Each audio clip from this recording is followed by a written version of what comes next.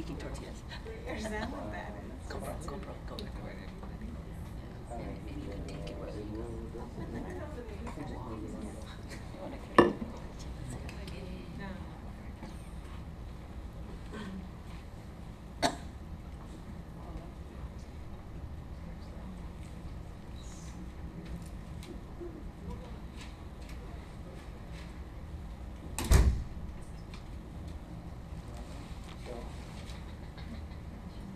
Good? Oh, was it good actually? Yeah. Oh, because I, I see it different. I, I get Okay, so, yeah, some of you have not seen, several of you I've seen, almost see on a daily basis. Uh, I've been here as electrophysiologist since last century, nineteen ninety-nine. And then Dr. Indig is with us and just recently hired a third guy who's uh, helping us out with all the electrophysiology work. Um, interaction on the floor with you guys is a lot has a lot to do with EKG, recordings, tracings, looking what they show, what implications they have for the patient. Okay. Brief history: EKG was invented around 1900 by this guy, Dr. Einthoven. Uh, basically, he figured out if you have electrolyte solutions, you put your hand and foot in there, you can actually record the electrical activity of the heart. And this is what the EKG does. It records the electrical activity of the heart normal rhythm, abnormal rhythms. It does not tell me, it does not tell me how strong the heart function is, right? I can, I can have some uh, deduction based on the EKG findings that the heart function may be low or not low, but unlike the echocardiogram or some other test, this does, pro- does not tell me about the heart strength, it tells me about the rhythm. And the rhythm is driven by the electrical system. So uh, we came a long way from this setup to this setup here. And uh, of course, we have electrodes that are being attached to the patient. They're called limb leads and uh, chest leads. The limb leads should go usually on the forearm or down by the ankles or the wrist or the elbow. Sometimes I see them placed on the shoulders and the, and the uh, lower torso. In rare situations, that's okay. But typically, they should be placed at the distal extremities. Find a spot that's not hairy, right? Inside of the, uh, of the wrist or the inside of the elbow usually a good spot. The electrodes and cables come up with a messy spaghetti salad like this.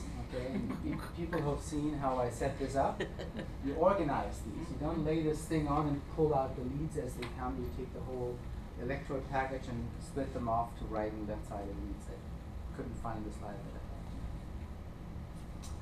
And here's a pet peeve of mine, right? Where do the leads go? Well, it's easy for the limb leads, but the chest leads have to go in a certain location. If you're off half an inch or an inch, it's not the end of the world. But I've seen crazy setups that are just mind-boggling. Okay. Uh, here are sort of the more uh, uh, descriptive positions. Where do they go? V1 and V2 go on the uh, intercostal space 4, 1, 2, 3, 4. Well, you don't see that on the patient, do you? Right? So that's challenging, but we'll come to that in a second. We go next to the sternum. Then V4 goes just in the intercostal space 5 in the mid-clavicular line, and then we have an electrode in the anterior mid-axillary line. So a better way of looking at it is this way. Okay, the anatomy is superimposed, the, the chest anatomy is superimposed uh, on the on the surface, and now you can see what I what I suggest you do is you do two lines. One through the middle of the sternum, mentally, need to draw it on the patient. and the other one is actually sort of I would call it nipple line. Okay, and now you can see how V1, V2 nicely go just above in this in this quadrant. V4 is just below the nipple on the on the midclavicular line. V3 splits the difference. And V5 and V6 is in the anterior axillary and mid-axillary line. This has also implications for, this is obviously easier to do in men, but uh, implications for women. Well, I mean, even men, we sort of get some changing anatomies, right? I- ignore the ones that I've put in here. These are the chest leads. They're actually not bad, right? If you look here, uh, nipple line, roughly, parasternal, V1, V2, V4, mid-clavicular line, it's sort of just below the nipple. V3 is uh, splitting the difference. V5 and V6 maybe could be a little bit further up, but that's it. But the point here is male anatomy, A little bit of man boot action going there, right? so what you want to do in women is you want to just just imagine male anatomy, and then you know where the leads go. Right? Uh, I've seen women with large breasts, if they sort of lay here, that people have outlined the shape of the breast, and then, and then your electrodes come down to the spleen or something like that. so just sort of lift up, lift up the breast, and put the electrodes just under where the where the breast tissue goes onto the chest wall. Okay? Um, and uh, you know, in women, if they're large, larger breasted or implants or whatever, sometimes it's difficult to get them in, in EV1 here, and people, maybe because of false modesty, they put them up here. Well, let's put them up here. Don't want to go down there. Okay. Not good, right? Down here, okay. Crazy, crazy knee position, right? I think it's completely misplaced modesty. You may you get completely crazy tracings, and once or twice a year get called to the ER or a pack holding area where some presumably new tech or nurse got an EKG and you got weird tracings. Because when you put those electrodes in the wrong spot, you get funny tracings. You can get, not always. So, you know, they need to be here and, you know, lift the bra and put. All same thing here, you know, a bit sloppy, right? I mean, it's sort of in the region, but it's a little bit too high. Anyway, knee position is important. So, how does that translate into the cardiac situation? Well, the heart is, of course, the pumping organ with the right and left sided chambers pumping blood around. In order to do that, the heart has its own electrical system. has its own electrical system, which is actually relatively simple. There's a spark plug sitting right at the top of the right atrium. It's called the sinus node. That sends out the electricity over the upper chambers, the atrium, and then it reaches the middle of the heart. There's a connector cable. It's called the AV node that connects the upper to the lower chambers, and emanating from there are two large cable systems, the left and the right bundle, and that is it. It's pretty simple, right? As the electricity travels through the heart, it creates electrical signals that are being picked up by the electrocardiogram produce very uh, uh, familiar pattern of small waves, spiky things, and the marginal wave. The P wave is as the electricity travels over the upper chamber. So if I look at the P wave, I know the sinus node is beating. Uh, there are certain features of the P wave that tell me subtleties about the atrial anatomy. Okay? Then we have a PR. So the atrium is being activated from the sinus node. It spreads across the upper chamber, and the EKG creates the P wave. And so this is why in sinus rhythm we have a P wave in front of the QRS, which is of course the electrical activation. And the T wave occurs because the electrical activity has depolarized, the ventricle needs to repolarize. It's like a reset.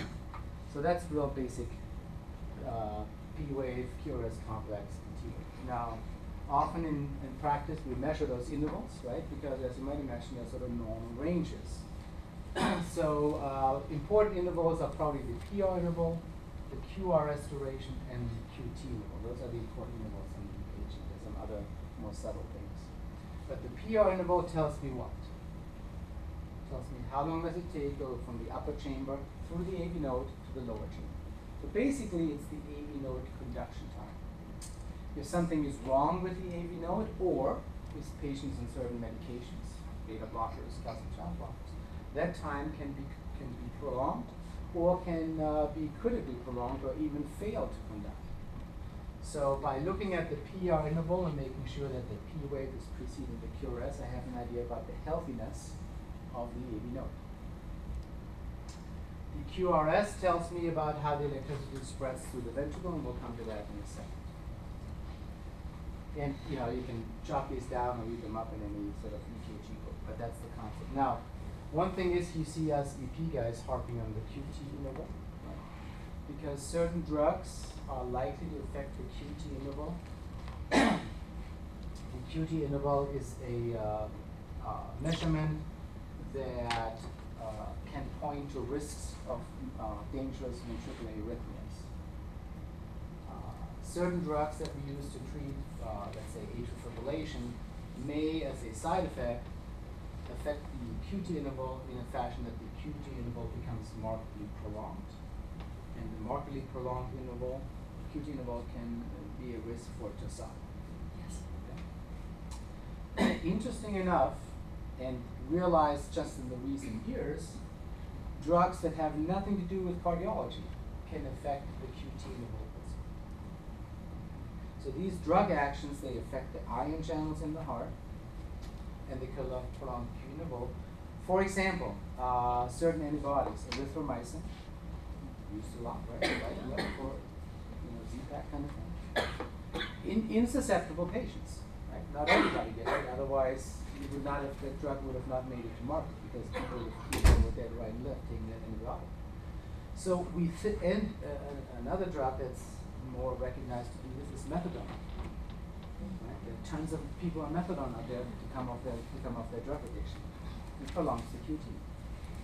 It doesn't do that in everybody, and we think that patients who get the QT interval prolonged on those drugs have subtle genetic mutations that don't come out in everyday life, but if you put a drug on top of that that prolongs the QT, mm-hmm. that mutation all of a sudden becomes apparent, you sort of unmask that variable, that, that mutation. so that's important. So, sinus rhythm, normal heart rate 60 to 90 beats a minute, right? Mm-hmm. Sinus bradycardia, less than 50, sinus tachycardia, more than 50, no, 100 sort of cutoffs.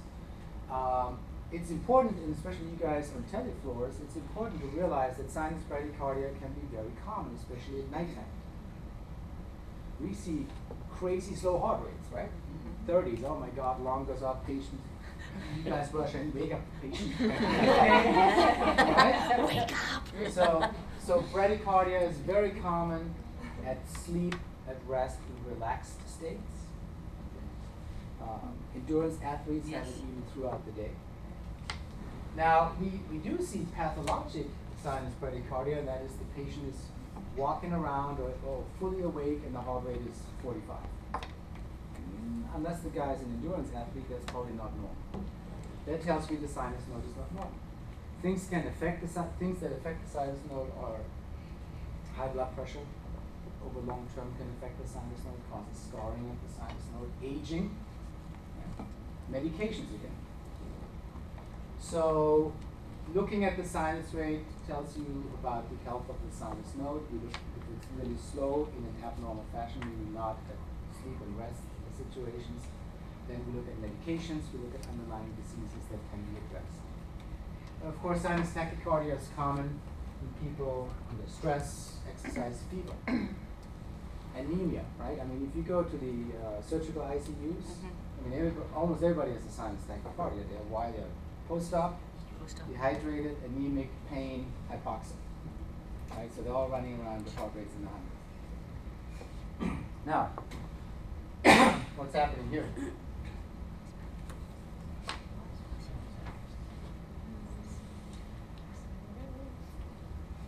What's what's going on there?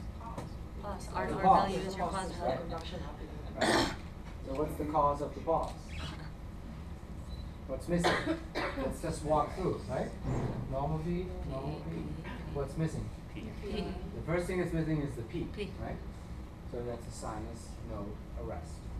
Sinus node, sinus node says, I'm gonna take a break. You, luckily and usually it comes back, right? But these pauses can be very long. And so, oh my God, right? So that would be very abnormal. Just as an example, sinus Talked about the AV node facilitating the throughput from the upper chambers to the lower chambers. We typically get one-to-one conduction, right? P wave QRS, P wave QRS, because the P wave comes, runs into the AV node, goes through the AV node, and goes down to the ventricle. That's how we get AV synchrony. That's very important for the heart to beat properly. The A and the V have to be timed up correctly. And we see that on the EKG as the PR interval. Again, we have pauses, right? Mm-hmm. Something is missing. Now, that's right. So what? So unlike before, this thing here, where we have no P wave, right? Mm-hmm. Mm-hmm. And that therefore the problem here is the sinus node. We do have P waves, right? Look at this lonely guy here. No conduction, right? So here the problem is where? It is in the AV node, right? It's an example of AV block. If you look here, everything seems hunky-dory, right? Very steady, the P wave is coming steady, and very stable PR interval, so it's not prolonging. All of a sudden, the P wave gets blocked. And down here, if you look down here, what happens here before the P wave gets blocked? The PR prolongs, doesn't it? Mm-hmm. Here, here, here. So one is called the Wenckebach block, and this is this one where the PR belongs. And the Wenckebach block is a physiologic phenomenon. I can guarantee you we have that during the night when we sleep. That's an effect of the vagal nerve from the heart. Slowing down, relaxing. Sometimes we see that when people are awake, it's a little bit unusual, but uh, it's not very common. This one here is much more unusual because the PR does not prolong before it blocks. This is a type 2 block, tends to be a little bit more problematic. well, we don't, know, we don't often see necessarily see block, but we see a significant prolongation of the PR interval, right? It normally is 200 milliseconds, right? Which is a box. One of these big boxes is 200 milliseconds. And you can see it's about a uh, box and a half, but it's pretty prolonged. And down here, what's happening down here? Have multiple P waves. Yeah. Mm-hmm. This guy, so in, in arrhythmia stuff, always start where things look good. Okay, this is, this I know what's going on, what's going on thereafter, right? So you can say, okay, this is, let's pick this P wave. This seems to be okay. This P wave, not conducting, not conducting, two in a row, uh-oh. Okay, it's conducting. Okay? So this is on the way to complete heart block. This is called uh, advanced heart block. And down here, we have complete heart block. Look at the difference. Here, every now and then, the P and the QRS line up just so. right? Down here, well, maybe this lines up, but nothing's happening here. Mm-hmm. Way up. They're completely dissociated.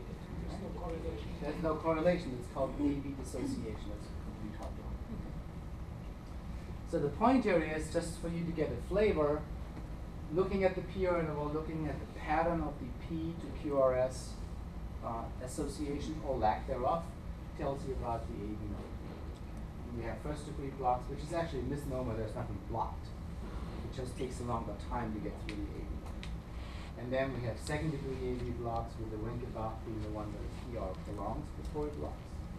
Advanced block one, more more than one previous block, and this was the one with complete dissociation. Okay, so now we made it happily from the sinus node to the AV node. Now we're going down here to the bundles, right and left bundle. These bundle branches are basically electronic highways. They have very rapid conduction velocity, very rapid conduction velocity. And therefore, the whole lower cardiac chamber is being activated very quickly.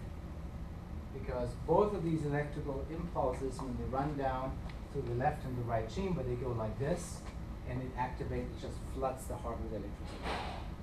This is why you get a narrow QRS. 80 milliseconds, the whole myocardium is activated. Right?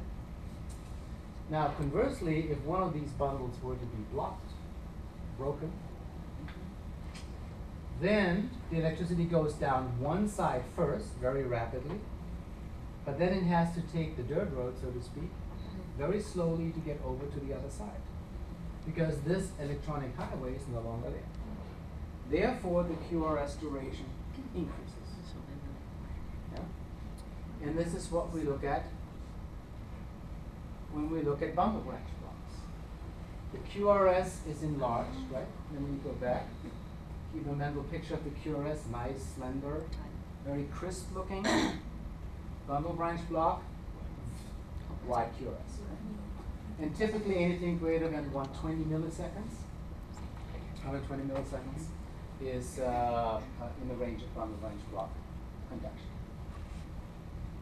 Now, as you probably know, the pattern of the QRS, especially in lead 1 and in lead V6, so the opposite points here. The patterns of the QRS in those leads tells me which bundle is blocked. And in the left bundle branch block, in V1 we have this big, deep valley in V1, and we have the mountain in V6. Okay. In right bundle branch block, this is the right bundle branch block, we have the mountains in V1. And another funny guy, I'm not sure what to call this in V6. So, to make this really simple, bundle branch blocks have to be considered if the QRS is wide, greater than 120, plus we look at a specific QRS pattern. And I've sort of named these here. The right bundle branch block has the Rocky Mountains in V1. Just look at V1 and make it simple. And left bundle branch block has the low valley. Now, what does it mean for the patient? Well, bundle branch blocks are common. People with hypertension often have bundle branch block. People with advanced heart disease often have a left bundle branch block because the disease is sitting in the left ventricle. Gets stretched, gets enlarged, maybe has infarcts. Um, people who present with syncope and have an EKG showing bundle branch block makes me concerned is the electrical system so weak, it already has a bundle branch block, that every now and then there may be intermittent complete heart block. Could be, right? So it's a sign of conduction system disease. It's, it's often accompanying conditions that affect the myocardium, infarcts, cardiomyopathies, valve disease. So the QRS tells you a story. We already talked about the wide QRS with the bundle branch block. Now, when people have hypertrophy, meaning thickening of the myocardium, look, this is a cut through the ventricle. This is the right ventricle. This is a hugely hypertrophy. It should be maybe like this. A hugely hypertrophied left ventricle. Why would there be hypertrophy? Any ideas? Hypertension again? No, no. Hypertension is bad. Hypertension, aortic valve disease, right? Mm-hmm. Aortic valve stenosis. You see all the patients Dr. Lowton doing the, the tablets on. and um, people are born, there's a genetic variant called hypertrophic cardiomyopathy.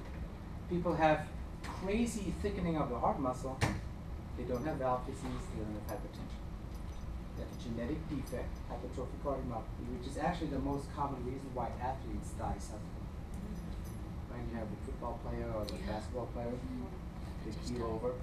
And if you take all the series of these athletes dying suddenly, a large percentage is due to hypertrophic cardiomyopathy, which may not have been well recognized clinically. They've been running around doing sports all uh, ever since they were in school, right? And all of a sudden, 1920, all of a sudden, they, know, sometimes there's a family history of somebody dying in their 20s of unknown reason. Okay.